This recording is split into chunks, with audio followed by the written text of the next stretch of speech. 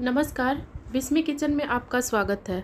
आज मैं बनाने वाली हूँ पाउंड केक और पाउंड केक की मज़ेदार बात यह है कि इसमें मुख्य रूप से तीन चीज़ पड़ता है और तीनों एक ही अनुपात में पड़ता है। तो चलिए वीडियो को स्टार्ट करते हैं। सबसे पहले मैं यहाँ पे कुछ ड्राई फ्रूट लूँगी। काजू, बादाम, टूटी फ्रूटी, पिस्ता। आप चाहें तो इसमें कुछ ड्राई फ्रूट्स ऐड भी कर सकते हैं और इसको स्किप भी कर सकते हैं। और सारे ड्राई फ्रूट्स को चॉप कर लूँगी। एकदम बारीक कट होने के बाद से मैं इसको एक बाउल में रख लूँगी। ड्राई फ्रूट्स को साइड में रखने के बाद से मैं अब दूसरे प्रोसेस की तरफ़ चलूँगी। यहाँ मैं 180 ग्राम मैदा लूँगी, छन्नी की सहायता से छान लूँगी और छानने के बाद से इसको साइड में रख दूँगी। बेकिंग पैन को बटर की सहायता से ग्रीस कर लूँगी, उसके बाद से मैदा का डस्टिंग कर लूँगी और इसके अंदर जो एक्सेस मैदा है, इसको पैन को टैप करके छान देंगे। इसको मैं अब साइड में रख दूँगी। एक बाउल के अंदर मैं 180 ग्राम बटर डालूँगी। सेम क्वांटिटी में 180 ग्राम मैं चीनी डालूँगी। आप चाहें तो पिसा हुआ चीनी का भी इस्तेमाल कर सकते हैं बट मैं खड़ा ही चीनी डाल दी हूँ और दोनों को हैंड ब्लेंडर की सहायता से मिक्स कर लेंगे। अगर आपके पास हैंड ब्लेंडर नहीं है तो आप चम्मच की सहायता से भी उसको मिक्स कर सकते हैं। चम्मच से फेंटने में थोड़ा मेहनत लगेगा और टाइम भी थोड़ा ज़्यादा लगेगा। तो आप पेशेंस के साथ इसको फेंटें।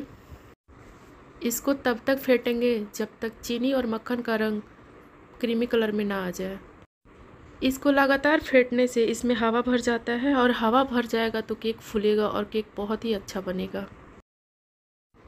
ये फेंटते फेंटते देखिए इसका कलर चेंज हो गया है। इसको मैं थोड़ा पास करके दिखा रही हूँ। और अब मैं इसके अंदर 180 ग्राम मैदा थोड़ा थोड़ा करके डाल दूँगी। मैदा अच्छे से मिक्स करने के बाद से इसका टेक्सचर देखिए कितना बढ़िया हो गया है और अब मैं इसके अंदर अंडा डालूँगी। आप चाहे तो अंडा स्किप कर सकते हैं, इसके जगह पे दही डाल सकते हैं। अगर आपको दही वाला वीडियो देखना है तो एक बार कमेंट करके ज़रूर बताइएगा, मैं दही डाल के एक वीडियो बना दूँगी।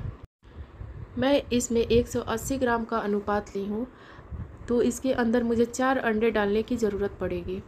तो मैं इसके अंदर चार अंडे फोड़ के डाल देती हूँ उसके बाद से इसको अच्छे से फेंट लूँगी।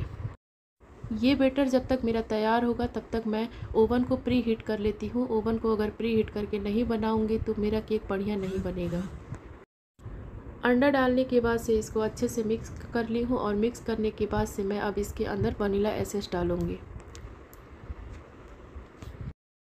वनीला एसेस डालने के बाद से ये मेरा लाइट और फ्लपी बैटर बन के तैयार हो चुका है और अब मैं इसके अंदर जो ड्राई फ्रूट्स कट की थी, उसके अंदर टूटी फ्रूटी था, उसको डाल के एक बार मिक्स कर लूँगी। अच्छे से मिक्स करने के बाद से अब मैं बेकिंग पैन के अंदर डाल दूँगी। बेकिंग पैन के अंदर डालने के बाद से इसको मैं टैप टैप करके एक अच्छा सा सेप दे दूँगी और सेप देने के बाद से इसको प्री हीट ओवन के अंदर डाल दूँगी। 180 डिग्री टेम्परेचर पे प्री हीट कर ली थी और अब मैं बीच वाले रैक पे इसको रख दूँगी और 180 डिग्री टेम्परेचर पे ही मैं एक घंटे के लिए इसको बेक कर लूँगी। तो ये हमारा पाउंड केक बन के तैयार हो चुका है और अब मैं इसको चाकू की सहायता से किनारे किनारे से थोड़ा सा चीरा लगा लूँगी, उसके बाद से इसको मैं पलट दूँगी। पलटने के बाद से इसको मैं स्लाइस में कट कर लूँगी। आप चाहें तो मोटा पतला जैसे चाहें वैसे कट कर सकते हैं। ये देखिए हमारा केक कितना अच्छा बना है। इसका टेक्सचर भी बहुत अच्छा आया है। आप एक बार ज़रूर बनाइएगा क्योंकि ये बनाना बहुत ही आसान है। तो अगर आपको ये रेसिपी पसंद आए तो मेरे वीडियो को लाइक सब्सक्राइब और कमेंट करना ना भूलें। वीडियो के अंत तक बने रहने के लिए थैंक यू सो मच